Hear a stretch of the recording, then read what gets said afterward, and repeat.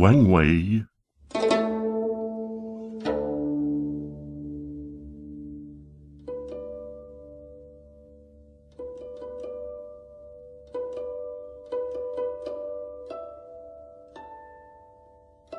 Fragment poétique.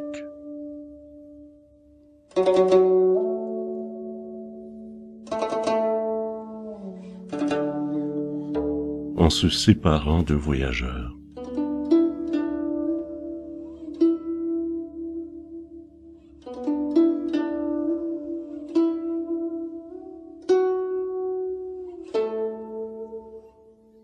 Je descendis de cheval, je lui offris le vin de l'adieu.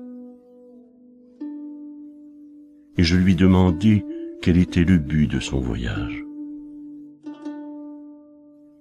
Il me répondit, Je n'ai pas réussi dans les affaires du monde. Je m'en retourne au mont Nanshan pour y chercher le repos. Vous n'aurez plus désormais à m'interroger sur de nouveaux voyages, car la nature est immuable les nuages blancs sont éternels.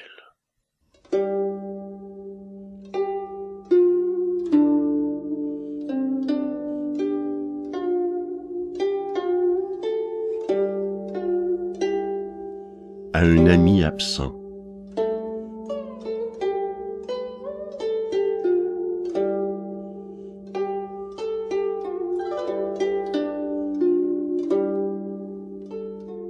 Déjà les araignées de jardin abritent leurs toiles sous mes fenêtres, et l'on entend les grillons chanter entre les marches du perron.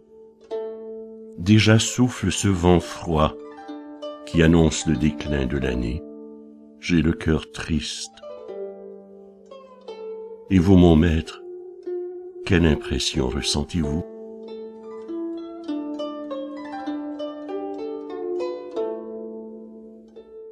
Mes yeux demeurent souvent fixés sur votre habitation déserte. L'amour de la solitude a conduit au loin celui qui l'occupait. Mes regards interrogent vainement sa porte oisive et silencieuse.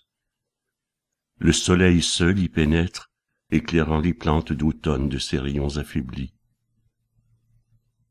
Vous m'avez, il est vrai, fait parvenir de vos nouvelles. Mais pour m'apprendre qu'aujourd'hui nous sommes séparés par mille lits. Après avoir erré longtemps comme un étranger sur des routes inconnues, vous avez donc repris le chemin de ces montagnes où déjà vous vous étiez retiré. Nous sommes des amis de vingt années et nous ne trouverons pas un jour pour échanger nos sentiments. Si vous avez eu cruellement à souffrir de la fatigue et de la maladie, je n'ai pas eu de mon côté de moindres maux à supporter.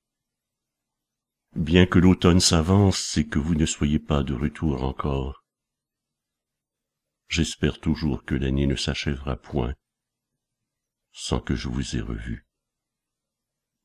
Mais ce vœu se réalisa-t-il? Combien la réunion durerait-elle?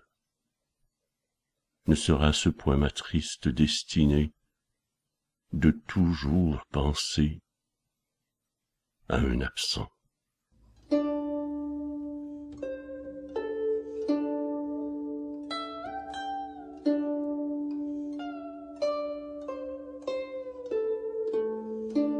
Adieu au printemps.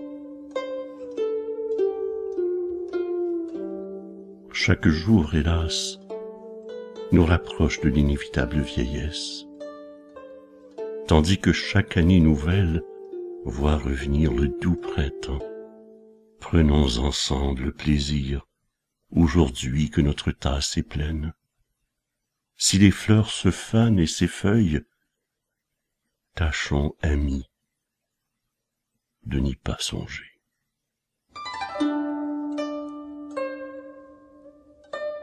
La montagne n'est que silence et solitude,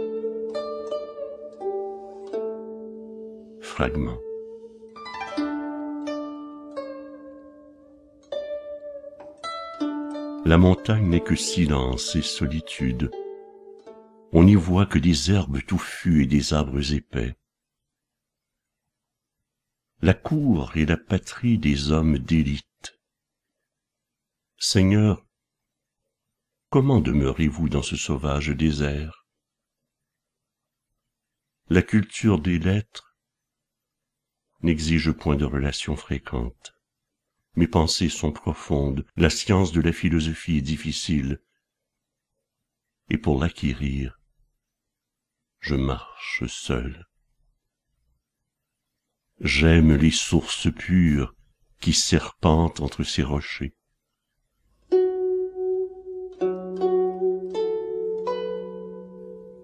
J'aime aussi ma cabane rustique, paisiblement assise au milieu des.